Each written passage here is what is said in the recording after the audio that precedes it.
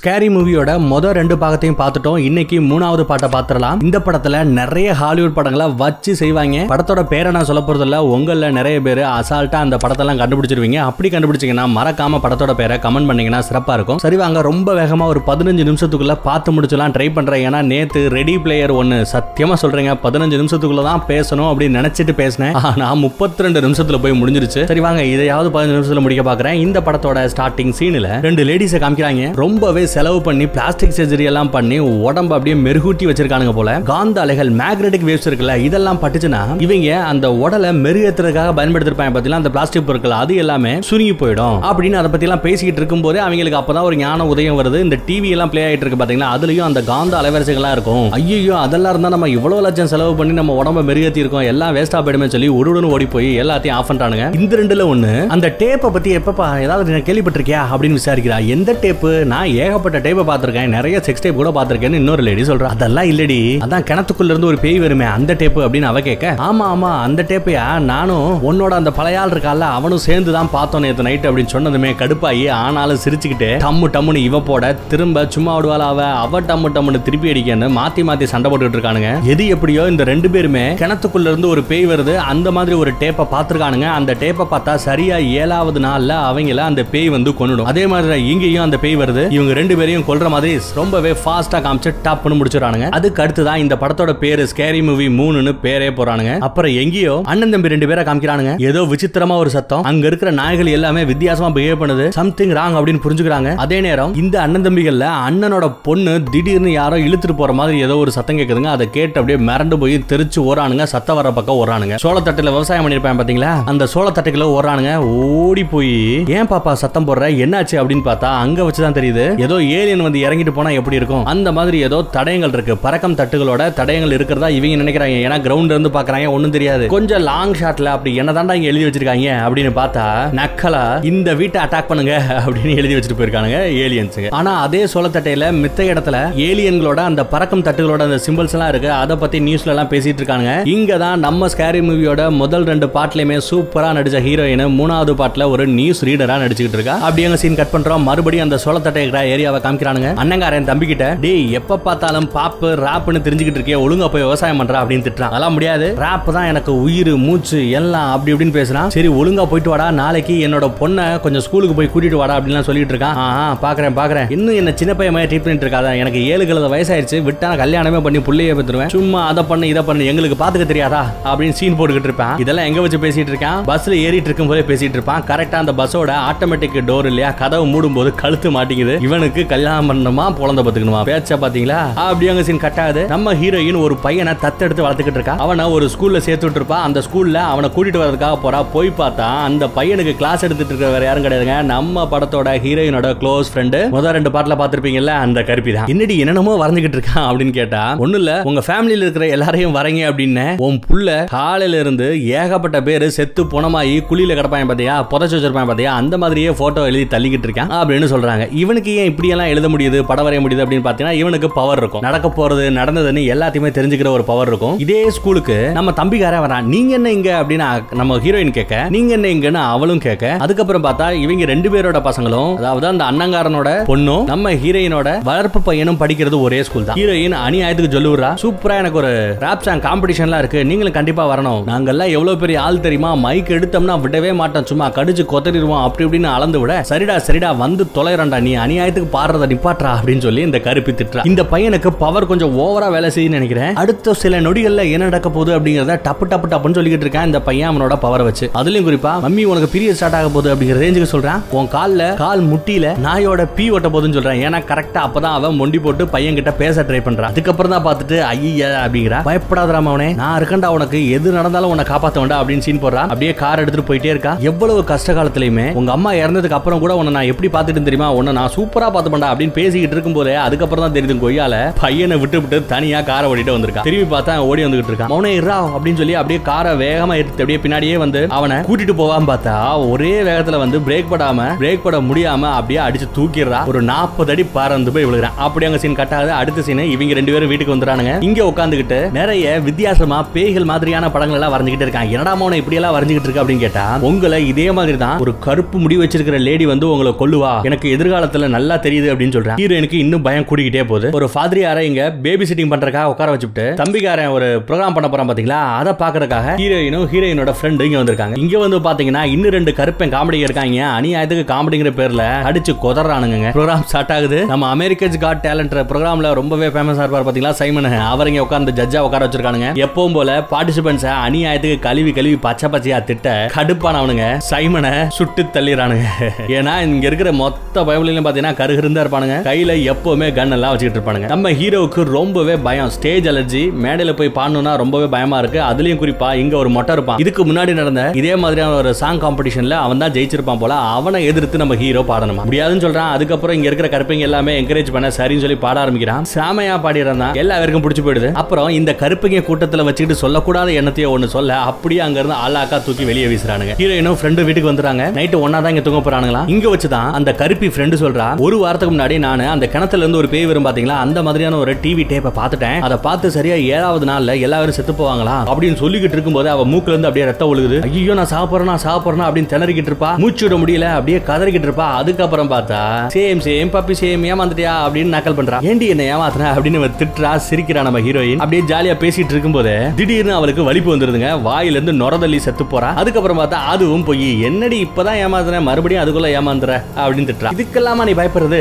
அப்படின்னு சொல்லிக்கிட்டே அப்படியே கைய ஒரு டேபிள்ல தட்டுவா. அந்த கையில டப்புன்னு தீ பிடிக்குது. ஆஹானு மறுபடியும் அவ பயப்படுறா. அதுக்கப்புறம் பார்த்தா அதுவும் ஃபேக் கை மூணாவது தடவை உன்னை ஏமாத்திட்டேன். இதுக்கு மேலேயாவது ஏமாம கடை அப்படின்னு திட்டுறா. அப்படியே பேசிக்கிட்டே நேத்து வச்ச அந்த பாப்கார்ன் இருக்குமே எங்க? அப்படின்னு கேட்டு போய் அந்த பாப்கார்ன் எடுக்க போறா. அப்ப டிவி அதுவா ஆன் ஆகுது. இந்த பக்கம் ஹால்ல இருக்கிறது யாரு? அவ. அந்த பக்கத்துல கிச்சன்ல இருக்கிறது யாரு? நம்ம ஹீரோயின் அடியே ஒரு வாரத்துக்கு முன்னாடி நான் பார்த்தல அந்த கிணத்துக்குள்ள இருந்து ஒரு பேய் வரும்ல அதே மாதிரி இங்க டிவில வருதுன்னு சொல்லி டிவி ஆஃப் பண்றா கரண்ட் ஆஃப் பண்றா எல்லாத்தையும் புடுங்கினா கூட டிவில அது பிளே ஆயிட்டே இருக்கு. அதுக்கப்புறம் டிவிக்குள்ள இருந்து தண்ணி ஒழுக ஆரம்பிக்குது. என்னடி டிவிக்குள்ள இருந்து தண்ணியெல்லாம் அப்படின்னு சொன்னாலும் உனக்கு வேற வேலையில் என்ன ஏமாத்திக்கிட்டே இருக்க. ஆல்ரெடி மூணு தடவை ஏமாத்திட்டு போடி அப்படின்ற நம்ம ஹீரோயின் அதுக்கப்புறம் பார்த்தா அந்த டிவிக்குள்ள இருந்து அந்த கிணத்து பேய் மேல வருதுங்க வெளியே வருதுங்க. மிரண்டு போறாவ. ஆனாலும் நம்ம கருப்பிய பத்தி அவளுக்கு தெரியாதுன்னு நினைக்கிறேன். அந்த பேய்க்கு வந்ததும் பாக்ஸிங்ல மூக்குலயே ஒரு குத்து. எந்திரி பேயா இருந்தாலும் சும்மா விட மாட்டேன் வந்து பாப்போம் அப்படின்னு சொல்லி பயங்கரமா சண்டை போட்டுக்கிட்டு இருக்கா. பேயும் அடிக்குது அவளும் அடிக்கிறா. அப்புறம் சண்டை ஓவரா முத்தி போய் ஏதோ நடக்குது. நம்ம ஹீரோயின் என்னாச்சு என்னாச்சு அப்படின்னு ஹால் பார்க்க வந்து பார்த்தா ஆனு கத்துறாங்க. இதுவும் பொய்யா இருக்குமா உண்மையா இருக்குமான்னு தெரியாம நம்ம பார்ப்போம் அதுக்கப்புறம் பார்த்தா அங்க சீன் கட்டாது அடுத்த சீன் நம்ம கருப்பியோட வீடுலயே காமிக்கிறானுங்க. கருப்பி வாய பிறந்த நேரம்ல செத்து போயிட்டாலாம் பேய் வந்து கொன்னுடுச்சு. இந்த இன்ஃபர்மேஷன் நம்ம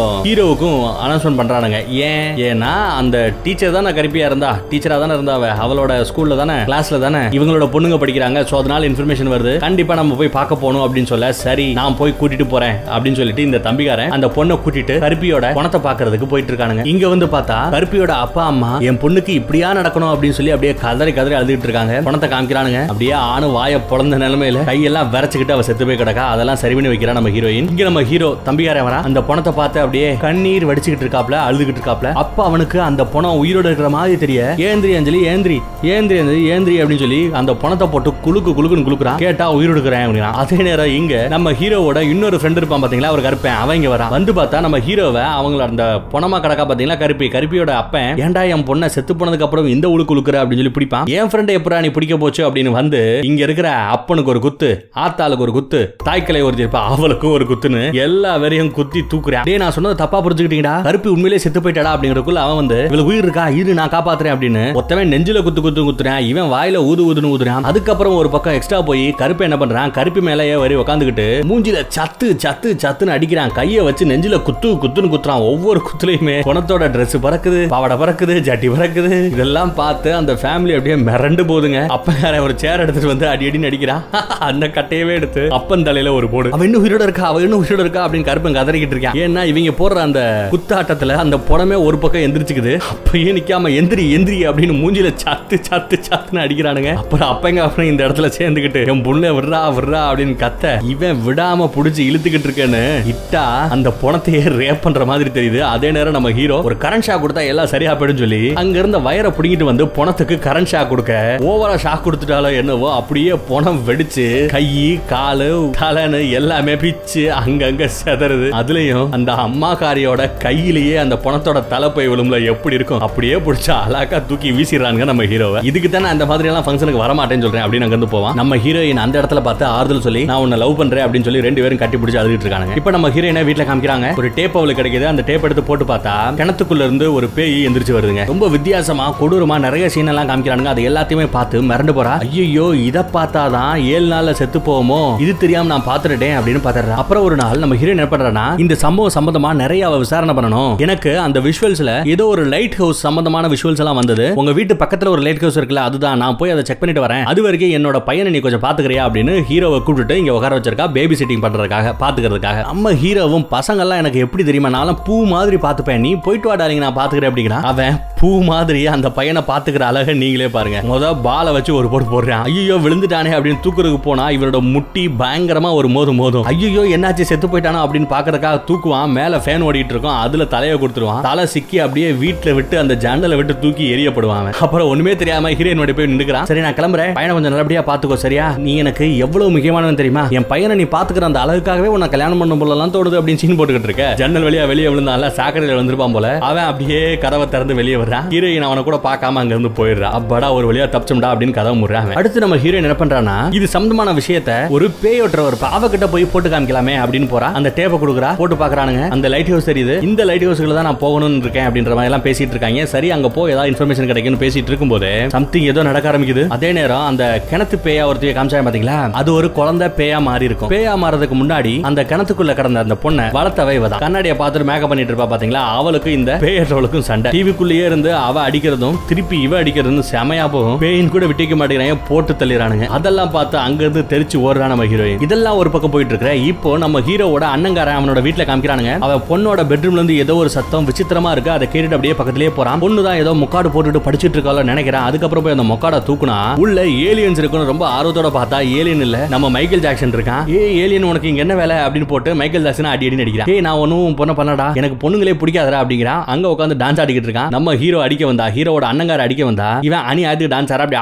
ஆடிக்கிட்டு இருக்கும்போது அண்ணங்காரனோட அங்கேயே ஒரு எத்து. அப்புறம் அங்க இருந்து ஜன்னல் வழியா எகிரி குதிச்சு எஸ்கேப் ஆக பார்க்க இவன் புடிச்சுக்கிட்டு எங்கடா போறா? இருடா உன்னை வச்சு சேரடா அப்படின்னு புடிச்சுக்கிட்டு இருக்க. அவன் மூக்கு அருந்துருதுங்க மூக்க மட்டும் என் கையில வச்சிருக்கேன். அதுக்கப்புறம் வெளியே போய் பார்த்தா அந்த மைக்கேல் ஜாக்சன் ட்ரெஸ் அந்த தோல் எல்லாமே எங்க அவுந்து கிடக்கு. ஒரு ஏலியன் தான் இந்த மாதிரி. ஒரு மேக்கப் போட்டுட்டு இங்க வந்து அந்த உண்மையை அவன் தெரிஞ்சுக்கிறான். இப்போ டிவி நியூஸ்ல வேலை பார்த்துட்டு இருக்கா இல்லையா? நம்ம ஹீரோயின் அவன் என்ன பண்றானா இந்த உண்மையை அந்த கிணத்துல இருந்து பேய் வருது அந்த டேப்பை பார்த்தா ஏழு நாள் செத்து போறாங்க. இந்த உண்மையை மக்களுக்கு தெரியப்படுத்தணும். யாரும் அந்த டேப்பை பார்க்க கூடாதுன்னு நம்ம சொல்லணும். அப்படி இப்படின்னு பேசிட்டு இருக்க. அதுக்கு அதுக்கெல்லாம் நம்ம டிவியில் போடுறதுக்கு இடம் இல்லை அப்படின்னு சீன் போட்டுட்டு இருக்கான் இந்த கம்பெனியோட இந்த டிவி கம்பெனியோட முதலாளி. அதே நேரம் டிவி நியூஸ் ரீடர் என்ன பண்றாருன்னா அவர் அவருக்கு முன்னாடி ஒரு டிவி டெலிகாஸ்ட் இருக்குங்க. அதுல என்னெல்லாம் டைப் பண்ணி வருதோ அது எல்லாத்தையுமே படிச்சு தள்ளிக்கிட்டே இருப்பேன். ஏன் எதுக்கெல்லாம் கேட்கவே மாட்டான்? அப்படி மெசேஜ் போயிட்டு இருக்குல்ல. அதுல மக்களுக்கு இந்த உண்மையை தெரியப்படுத்தணும் நம்ம ஹீரோ என்ன பண்றானா அதை பற்றிய டீட்டெயில்ஸ் எல்லாத்தையும் டைப் பண்ணி அனுப்புறா. அதை பார்த்து இந்த நியூஸ் ரீடரும் ரைட் பண்ண ஆரம்பிச்சிடா அதாவது ரீட் பண்ண ஆரம்பிச்சிடான் அதுக்குள்ள இங்க அந்த கம்பெனியோட முதலாளிக்கும் நம்ம ஹீரோயினுக்கும் சண்டை. அந்த சண்டையில க்ளீன் பண்ற ஒருத்தவன் என்ன பத்தி நாலு வார்த்தை நல்லபடியா பேசுறா அப்படின்னு சொல்லிட்டு அவனை பத்தி நாலு நல்ல வார்த்தையில எழுதி அப்படியே டைப் பண்ணி வச்சுட்டு போறான்? இந்த கலவரத்துல அறகுறையா நியூஸ் அந்த லேடியை பத்தியும் அந்த லேடி டைப் பண்ண அந்த மெசேஜ் பத்தியும் யாருக்கு நியூஸ் போகுதுன்னா அமெரிக்காவோட பிரசிடென்ட் இருக்காரு பாத்தீங்களா? இப்ப ட்ரம்ப் இருக்கார்ல அந்த பொசிஷன்ல ஒருத்தவன் நடிச்சிட்டு இருக்காப்ல அவருக்கே இன்ஃபர்மேஷன் போகுது. அதை பத்தி நம்ம விசாரிக்கணும். ஏலியன்ஸ் நம்ம உலகத்துக்கு வந்து நம்ம நாட்டுக்கே வந்தா சும்மா வர முடியாது அப்படி இப்படின்னு பேசிட்டு இருக்காப்ல. காமெடின்றப்ப பேர்ல அநியாயத்துக்கு அறுக்குறாங்க வேற வழியே இல்ல. கொஞ்சம் இடத்துல எல்லாம் செம்ம கடியா இருக்கு. அதே நேரம் இந்த பக்கத்துல நம்ம ஹீரோயின் அந்த லைட் ஹவுஸ்க்கு வரா. லைட் ஹவுஸ்க்குள்ள போய் பார்த்தா ஏகப்பட்ட டிவிகள்ல இவளோட மூஞ்சி தெரிஞ்சுட்டு இருக்கு இந்த சீனை பார்த்தா உங்களுக்கு நல்லா தெரியும். எந்த படத்தை ஓட்டுறாங்க அப்படின்னு? முடிஞ்சா கமெண்ட் பண்ணுங்க. இங்க ஒருத்தர் உட்காந்துட்டு இருக்கான். கேட்டா நான் தான் கிரியேட்டர் அப்படிங்கிறான். இது எல்லாத்தையும் நான் தான் படைச்சேன்னு சீன் போடுறேன். என்ன தாண்டா உனக்கு நடக்கணும்? என்ன தாண்டா இங்க பிரச்சனை? ஏன்டா அந்த கிணத்துக்குள்ள இருந்து பேய் வருதுன்னு எல்லா உண்மையும் சொல்லு அப்படின்னு கொஞ்சம் கொஞ்சமா அவன் சொல்ல ஆரம்பிக்கிறான். ஆக்சுவலா என்ன நடந்திருக்குன்னா அந்த பொண்ணு கிணத்துக்குள்ள இருந்து வரா பாத்தீங்களா? அவ ஒரு பேய். பட் பேயா இருக்கிறதுக்கு முன்னாடி ஒரு குழந்தையா இருந்தா அந்த குழந்தையோட அம்மா வேற யாரும் கிடையாதுங்க. இங்க இருக்கிற இந்த வயசானவர் பாத்தீங்களா? இவரோட பொண்டாட்டி. அப்ப அந்த குழந்தையோட அப்பா யாரு? இவர் தான் இவங்க ரெண்டு பேருக்கும் குழந்தையே இல்லைன்னு ரொம்ப வருஷத்துக்கு அப்புறம் தத்தெடுத்து வளர்த்துருக்காங்க. என்னதான் தத்தெடுத்து வளர்த்தாலுமே இவளை வளர்க்கும் போது அங்க இருந்து ஆடு செத்து போச்சான் மாடு செத்து போச்சான் குதிரை செத்து போச்சான் இதெல்லாம் மன்னிச்சு விட்டுருவேன். ஆனா எங்க வீட்டுல இருந்த டிவி ரிமோட்டை எடுத்து ஒளி வைப்பா பாருங்க அதை எங்களால மன்னிக்கவே முடியல. அதனாலதான் தூக்கி கொண்டு போய் கிணத்துல போட்டு கொண்டுட்டோம் அப்படிங்கிறாங்க. அதனால தான் பேயா வந்து பழி வாங்கிட்டு இருக்கான். அப்படி பேயா வந்து பழி வாங்குறவள அப்படியே பிடிச்சி ஒரு டேப்ல என்னத்தையோ மாட்டி விட்டுருக்கேன் போல அந்த டேப் தான். யாரு கண்ணையும் படக்கூடாதுன்னு சொல்லி ஒளிய வைக்கிறதுக்கு பதிலா கொரியரை வேற இடத்துல அனுப்பிச்சு விட்டாங்களாம். அது மக்கள்கிட்ட புழக்கத்துக்கு வந்துருச்சு. அந்த டேப்பை பார்த்ததுனால இப்ப அந்த பேய் அந்த டேப்பை பார்க்குற எல்லாருமே கொண்டுகிட்டு இருக்கு அப்படின்ற உண்மையை தெரிய வருது. அதே நேரம் அந்த பக்கத்துல நம்ம வெள்ளை மாளிகையில காமிக்கிறாங்க பிரசிடென்ட் எல்லா பேருக்குமே இந்த அமெரிக்கான பரிசு எல்லாம் கொடுத்துக்கிட்டு இருக்காரு. பிரைஸை வாங்கிட்டு போறவங்க எல்லாமே நம்ம பிரசிடென்ட்டை முறைச்சிட்டே போற மாதிரி இவனோட பாயிண்ட் ஆஃப் வியூல தெரியுது. ஏன்னா அவன் பண்ற சேட்டை அதுலயே ஒருத்தர் பேச முடியாது. அதனாலேயே கழுத்துல அவருக்கு பேசுறதுக்கான ஒரு கருவி ஒன்று கொடுத்துருப்பாங்க. கொஞ்சம் மிஷின் ஒரு ரொபாட்டிக் பேசினா எப்படி இருக்கும்? அந்த மாதிரி சவுண்ட் தாங்க வரும். அவரோட தொண்டை அசையில வச்சு மிஷின் ரெடி பண்ணி கொடுக்குறது. அந்த சவுண்டை பார்த்து ஏலியன் தான் இப்படி மாறு வேஷத்துல வந்திருக்குன்னு சொல்லி அவருக்கு ஒரு குத்து. கேட்க வந்த எல்லா பேருக்கும் ஒரு குத்து. அங்க இருக்கிற ஒவ்வொருத்தருக்கும் ஒவ்வொரு வியாதி இருக்கும். அதுக்கான சொல்லி ஒரு மிஷினை மாட்டிருப்பாங்க. மிஷின் மாட்டிருக்க எல்லாருமே ஏலியன்ஸ் சொல்லி எல்லாரையும் அடிச்சு துவம்சம் பண்றாங்க. அங்க இருந்த மதர் தெரசாவோட போட்டோ இருக்கும். அதையே சுட்டு அங்க ஒரு பெரிய ஓட்டையை போட்டு அங்க நம்ம பிரசிடென்ட்டையும் கூட்டிட்டு எடுத்துட்டு போறானுங்க. கூட்டிட்டு போறானுங்க. எப்படியோ பிரசிடென்ட்டை காப்பாத்திராங்களா ஆனா பண்ற சேட்டையெல்லாம் பாத்தீங்கன்னா அவங்க தான் அதுக்குள்ள நம்ம ஹீரோயினோட வீட்ல இருந்து ஹீரோயினோட வளர்ப்பு பையன் இருக்கான்ல அவன் அங்க இருந்து ஓடி போயிடுறான். எங்க ஓடி போயிட்டானா ஹீரோட வீட்டுக்கு ஓடி போயிருக்கான். அங்க படம் வரைஞ்சிட்டு தான் போயிருப்பான். அந்த படத்தை பார்த்து நம்ம ஹீரோயின் எங்க தம்ம பையனுக்கு ஏதோ ஆயிடுமோ? அப்படின்னு பயந்துகிட்டு அங்க இருந்து ஓடுறா. யார் வீட்டுக்கு வரா? ஹீரோ வீட்டுக்கு வரா. ஹீரோ ஹீரோயின் அந்த பையன் மூணு பேர் அங்க பாத்துக்கிறாங்க. அப்படி எல்லாம் பேசிக்கிட்டு இருக்கும்போது வெளியே ஏலியன்ஸோட அட்டாக் ஆரம்பமாகுது. வெளியே ஏலியன்ஸ் என்ன பண்ணுது அப்படிங்கறது தெரிஞ்சிருக்காக ஒரு கத்தியை உள்ள அனுப்பிச்சு அந்த கதவுக்கு கீழே ஒரு கேப் இருக்கும். அதுல அனுப்பிச்சு அது ரெண்டு எப்படி இருக்கு என்ன பேசிது அப்படின்றத நம்ம ஹீரோயின் பார்க்க ட்ரை பண்ணா அந்த ஏலியன்ஸுக சேட்டை பிடிச்ச ஏலியன்ஸா இருக்கும் போல அதுக ஒரு கண்ணாடி மாதிரி ஒரு கத்தி இருக்குங்க. அந்த கத்தியை இந்த பக்கத்துல விட்டு நம்ம ஹீரோயினா அறவரையா பாக்குதுங்க சேட்டை பண்ணுதுங்க அதே நேரம் இந்த பக்கத்துல ஒரு ஏலியனை அடைச்சு வச்சிருப்பாங்க. அது அந்த பையனை பிடிச்சிருதுங்க. அதை காப்பாத்துறேங்கிற பேர்ல அந்த பையனையே அடி அடி அடின்னு அடிச்சு நாஸ்தி பண்றான் அடி வாங்கினதோட போதும் இங்க இருந்து ஆள விழுடா சாமின்னு ஓடிடுறான் அந்த சின்ன பையன். எங்க இருந்தா தெரியலங்க அந்த காமெடியன் கருப்பை ஒருத்தர் இருக்கான்ல டப்பு டப்புன்னு அந்த சீனுக்கு வந்துடுறான். அதே மாதிரி தான் இங்கேயே வந்துடுறான். ஆளுக்கு கையில கிடைக்கிறதெல்லாம் எடுத்துட்டு சோளத்தட்ட பக்கம் போறான். ஏன் பிரசிடென்ட் கூட ஒரே ஒரு செக்யூரிட்டி மட்டும் கூட்டிட்டு வரான். ஆக மொத்தம் அஞ்சு பேர் இங்க இருக்கானுங்க. ஆனா பறக்கும் தட்டு மூணு பெரிய தட்டு இங்க வந்து இறங்குது. ஏலியன்ஸ் இவ்வளவு பேர் வந்தா நம்மளால எப்படா ஃபைட் பண்ண முடியும் அப்படின்னு பார்த்தா இன்னொரு காமெடியான ஸ்டார்டிங்ல பாத்திருப்பீங்கல்ல அவன் என்ன பண்றான்? கருப்பர் பட கூட்டையே இங்க கொண்டு வந்துடுறான். கருப்பர் படம் இங்க முது முது முதுன்னு இறங்குது. கையில எல்லாம் கன் வச்சிருக்காங்க. கருப்பு கலர் ட்ரெஸ் போட்டிருக்காங்க. வந்தவங்க ஏலியன் கூட சண்டை போடுவாங்கன்னு பார்த்தா அவங்களுக்குள்ள ரெண்டு குரூப் இருக்கு போலங்க. ரெண்டு குரூப்புக்குள்ள தகராறு மாத்தி மாத்தி சண்டை போட்டு சுட்டிக்கு ரெண்டு குரூப்லயும் வந்தாங்கல்ல மொத்த பேரும் காலி. மாத்தி மாத்தி குண்டு போட்டு செத்து போயிட்டாங்க. இவங்கள வச்சுக்கிட்டு எப்படா நம்ம ஏலியனை சண்டைக்கு போறது? பேசாம நம்மளும் சூசைட் பண்ணி செத்து போகண்டா அப்படின்னு சொல்லி இந்த பிரசிடென்ட் சூசைட் பண்ணலாமான்னு யோசிச்சுட்டு இருக்கும்போது அதே நேரம் ஏலியன்ஸ் வருது. இங்க இருக்க எல்லா பேரையுமே அவங்களோட கழுத்தை பிடிக்கிறாங்க. எங்களையாடா பிடிச்ச அப்படின்னு ஒருத்தன் அங்க இருந்த ஒரு மம்முட்டி எடுத்துட்டு வந்து ஒரே அடி தலை துண்டா போயிடுதுங்க. தலை துண்டா போனதுமே அதை பார்த்து மித்த ஏலியன்ஸ் எல்லாம் பயந்துருதுங்க. மன்னிச்சிருங்க மன்னிச்சிருங்க அப்படின்னு ஏதோ ஒரு மொழியில பேசுதுங்க. எதுக்குடா நீங்க வந்தீங்க அப்படின்னு கேட்டா ஒரு பேய் கிணத்துக்குள்ள இருந்து வருதுங்க. அதை சரியா பார்த்துட்டா அந்த வீடியோ பார்த்துட்டா ஒரே வாரத்துல அதை பார்த்த எல்லாருமே செத்து போயிடுறாங்க. இது தெரியாம எங்க கிரகத்துல இருக்கிற எல்லா பேருமே அந்த டேப்பை பார்த்துட்டோம். நிறைய பேர் சாக போறோம். அவங்கள காப்பாத்தணும்னா அந்த பேய் அடக்கணும். அதுக்காக தான் இங்க வந்திருக்கோம் அப்படின்னு ஏலியன்ஸுக்கு சொல்லுது. அடே அதே பிரச்சனை தான் இங்கேயே இருக்கு. எங்களுக்கும் அந்த பேய் தாண்டா பிரச்சனை. அப்போ எதிரிக்கு எதிரி நண்பங்கிற மாதிரி நம்ம ரெண்டு பேரும் ஒன்று சேர்ந்துலாம் எங்களுக்குள்ள பேசிக்கிறானுங்க. அதெல்லாம் சரிடா. ஏன்டா கழுத்தை பிடிச்சீங்க அப்படின்னு கேட்டா இவங்க கிரகத்துல கழுத்தை பிடிக்கிறாங்க பாத்தீங்களா? அப்படி பிடிச்சா அதுக்கு பேரு ஹாய் சொல்றாங்களா? வணக்கம் சொல்றாங்களா அர்த்தமா. அதே நேரம் அங்க இன்னொரு ஏழு என்ன பண்ணுனா அதோட ஆள்காட்டி விரல் இருக்குல்ல அதை வச்சு நம்ம ஹீரோவோட அண்ணங்காரோட மூஞ்சிலேயே படம் வரைஞ்சுக்கிட்டு இருக்கு. ஓ அப்ப நீங்க சண்டை போட மாட்டீங்க. எல்லாரும் கூட நல்ல ஃப்ரெண்ட்லியா தான் பழகுவீங்களா அப்படின்னு பேசிட்டு இருக்கும்போது சரி வணக்கம் எப்படி சொல்றீங்க போயிட்டு வரேங்கிறத எப்படி சொல்லுவீங்க அப்படின்னு பார்த்தா அங்கேயே எத்துறாங்க இப்படிதான் அவங்க போயிட்டு வரேன்னு சொல்லுவாங்க. அதுக்குள்ளேயே இன்னொருத்தன் அவனோட ஆள்காட்டி விரல் எடுத்துக்கிட்டு நம்ம ஹீரோட அண்ணங்கார வாயில விட்டு விளாண்டுகிட்டு இருக்கான். இந்த கூட்டத்துல ஒருத்தன் அதெல்லாம் சரிடா எப்படா உச்சா போவீங்க? அப்படின்னு ஏலிங்கிட்ட கேட்டா அவங்க ஆள்காட்டி விரல்ல இருந்து உச்சா அனுப்புறாங்க. இப்படிதான் நாங்க உச்சா போவோங்கிறாங்க அதை பார்த்ததுமே நம்ம ஹீரோட அண்ணன் வாந்தி எடுக்கிறான். சே சை அப்படிங்கிறான் பிரஷ் எல்லாம் பண்றானா பாத்துக்கோங்க. இதெல்லாம் ஒரு பக்கம் போயிட்டு இருக்குங்க. இதெல்லாம் தெரியாம வீட்டுக்குள்ள நம்ம ஹீரோயின் ஏதோ இங்க அமானுஷம் இருக்குன்னு சொல்லிடாம அவனை என்னடா? அப்படின்னு பாத்துக்கிட்டு இருக்கும்போதே அங்க நிறைய கண்ணாடி குண்டுகள் எல்லாம் இருக்கும். அதெல்லாம் கீழே விழுது. பழங்கள் எல்லாம் கீழே உருண்டு உருண்டு போய் ஒரே இடத்துல மட்டும் மொத்தமா போய் நிக்குதுங்க. ஏன் இந்த இடத்துல மட்டும் போய் நிக்குது? என்னங்க இருக்கு? அப்படின்னு சொல்லிட்டு பாக்கலாம் சொல்லி ட்ரை பண்றாங்க. ஒரு சாக்கு இருக்கும். அந்த சாக்கை ஓபன் பண்ணி பார்த்தா கீழே ஒரு பெரிய பழைய போட்டு மூடி வச்சிருக்காங்க. அந்த பழைய உடைக்கலாம் சொல்லிட்டு அங்க பெரிய சுத்தியல் இருக்கும். அதை எடுத்து அடிக்க போனா சுத்திலோட மண்டை மட்டும் பின்னாடி போய் பையனோட தலையிலேயே ஒரு போடு அங்கேயே கீழே விழுகிறான். ஐயோ அப்படின்னு சொல்லி அதுக்கப்புறம் ஒரு பெரிய கோடாரி இருக்கும். அந்த கோடாரி எடுத்து ஒரு கொத்து குத்துரா ஓட்ட விழுதுங்க அதுக்கப்புறம் பார்த்தா அந்த பேய் கிணத்துக்குள்ள இருந்து எந்திரிச்சு எந்திரிச்சு வருதுல அந்த கிணறு இந்த வீட்டுக்கடியில தான் இருக்கு. யாருக்கும் தெரியாம இருக்கு. திறந்து கிடக்கிற கீழே இருக்கிற அந்த கிணற மூடிட்டா பஞ்சாயத்து முடிஞ்சிடும் அதை மூடுறதுக்காக ட்ரை பண்ணிட்டு இருப்பாங்க. அதே நேரம் நம்ம ஹீரோயினுக்கு பின்னாடி அந்த பேய் வந்துருது. ஹீரோயின் ஒரு பக்கம் திரும்புறா பேய் பின்னாடி ஒளிஞ்சுக்குது. இன்னொரு பக்கம் திரும்பினா அந்த பக்கம் ஒளிஞ்சுக்குது. ஒரு தடவை சுத்தி பார்த்தா அந்த பேய் இருக்கிறத தெரிஞ்சு ஆனு கத்துவா அதுக்குள்ள அந்த பேய் அட்டாக் பண்ண வருது. லைட் எல்லாம் அமந்த தெரியுது ஈவில் டெட்ல பாப்பீங்க பாத்தீங்களா? மரத்துல இருக்கிற மிஷின் அந்த மிஷின் எடுத்துட்டு நம்ம ஹீரோயினை துண்டு துண்டா வெட்டுறதுக்காக வர அதே நேரம் ஓவரா கொஞ்சம் மேல தூக்கிடுதுன்னு நினைக்கிறேன். மேல இருந்த ஒரு சோர் இடிஞ்சு விழுந்து அவ கீழே விழுந்துடுறா. அடுத்து நம்ம ஹீரோயினோட வளர்ப்பு பையன் இருக்கான்ல அவனோட கழுத்தை பிடிச்சிக்கிட்டு கொன்றுவேன் கொன்றுவேன் அப்படின்னு அந்த பேய் மிரட்டிக்கிட்டு இருக்கு. அங்கதான் நம்ம ஹீரோயின் யோசிக்கிறா உங்க அம்மா ரொம்ப கெட்டவ அப்படிங்கறதுக்காக நீ இப்படி எல்லாம் மாறிடாத. நானும் உனக்கு ஒரு அம்மா மாதிரி தான் பேச நானும் உனக்கு அப்பா மாதிரி தான் பக்கத்துல இருக்க நம்ம ஹீரோ சொல்ல நானும் உனக்கு தம்பதி மாதிரி தான் அப்படின்னு சொல்லிட்டு அந்த தம்பி பையனும் சொல்ல நம்ம எல்லாம் ஒரே மாதிரி குடும்பமா இருப்போம் அப்படின்லாம் சொல்லதுமே அதெல்லாம் கேட்டு அந்த பேய்க்கு அழுகையே வந்துருதுங்க. அப்படியே அவன் மூஞ்சி லைட்டா மாறி பேயில இருந்து ஒரு நார்மலான பொண்ணா மாறிடுறா. எனக்கு ஒரு சாபம் இருந்தது அந்த சாபத்துல இருந்து நீங்க விமோச்சனம் கொடுத்துட்டீங்க தேங்க்ஸ் அப்படின்னு சொல்றா. எல்லாரும் சந்தோஷப்படுறானுங்க. ஆனா அதுக்கப்புறம் பார்த்தா அந்த பேய் சும்மா உளலாக்கி உங்க எல்லாத்தையும் போட்டு தள்ளுறதாண்டா என்னோட வேலை அப்படின்னு சொல்லி கையில கத்தி எடுத்துட்டு பக்கத்துல வர அதே நேரம் பிரசிடென்ட் வெளியே இருந்தாரு. கதவை திறந்துகிட்டு உள்ள வர தள்ளி விட அப்படியே கீழே கிணத்துக்குள்ள அந்த பேய் விழுந்துருது. போயிட்டு வரேன் பாய் பாய் அப்படின்னு சொல்லிட்டு போயிறாரு அதுக்கப்புறம் அந்த கிணத்தோட கதவை எப்படியோ முடியறானுங்க ஒரு வழியா அந்த பேய் அந்த கிணத்தை விட்டு வெளியே வர முடியாத மாதிரி பண்ணிடுறானுங்க. ஏலியன்ஸுக்கு சந்தோஷம் மனுஷங்களுக்கும் சந்தோஷம். அப்புறம் நம்ம ஹீரோவும் ஹீரோயினும் கல்யாணமே பண்ணிக்கிறாங்க. கல்யாணத்துல நிறைய பேர் பூவெல்லாம் தூவி புதுமண தம்பதிகளை வாழ்த்திக்கிட்டு இருக்காங்க. அதுல ஒரு முக்கியமான கேரக்டர் பாருங்க. அந்த பணத்தை ஒட்டு போட்டு வச்சு இன்னும் குடும்பம் நடத்திக்கிட்டு இருக்கான் அந்த காமெடி கருப்பேன். அப்புறம் ஹீரோ ஹீரோயினும் சேர்ந்து காரை ஓட்டுறாங்க. பின்னாடியே அந்த வளர்ப்பு பையனையும் எடுத்துட்டு போறானுங்க. நம்ம எல்லாம் ஒரே குடும்பமா சூப்பரா இருக்கணும். இந்த பையன் தான் எனக்கு பையன் வேற பையனே நம்ம பெத்துக்க மாட்டோம். இருபத்தி நாலு மணி நேரமும் ஏழு நாள் அவனை நான் அழுமையாக பார்த்துப்பேன். அப்படி இப்படின்னு ரெண்டு பேரும் பேசிட்டு போயிட்டே இருப்பாங்க. அதுக்கப்புறம் பார்த்தா பையனை விட்டு தான் இந்த பயபுலையே காரை ஓடிட்டே போறானுங்க. ஐயோ மௌனே எங்கடா இருக்க? அப்படின்னு பார்க்க பின்னாடியே டாடி டாடி அப்படின்னு சொல்லி அந்த பையன் ஓடி வர காரை அவங்க ரிவர்ஸ் எடுக்க எப்பவும் போல ஒரே ஏத்து. ஏத்துவான்னு எதிர்பார்ப்போம் ஆனா ஏத்தாம வண்டி நிக்குது. பரவாயில்ல திருதிட்டாங்க அப்படின்னு நினைச்சா அதே நேரம் பின்னாடியே இன்னொரு பெரிய வண்டி அந்த பையனை வந்து டப்புன்னு நசுக்குது. அதோட படத்தோட ஸ்டோரியை முடிக்கிறானுங்க. மூணாவது பாட்டு மொதல் ரெண்டு பாட்டு ரேஞ்சுக்கு கொஞ்சம் பெரிய லெவல்ல இல்லங்க. லைட்டா கொஞ்சம் அருவியா தான் தெரியுது. பாப்போம் அடுத்த ரெண்டு பாட்டு எப்படி இருக்குன்னு. தேங்க்யூ